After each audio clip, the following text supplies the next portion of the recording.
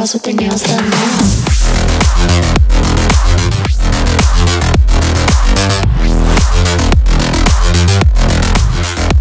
Girls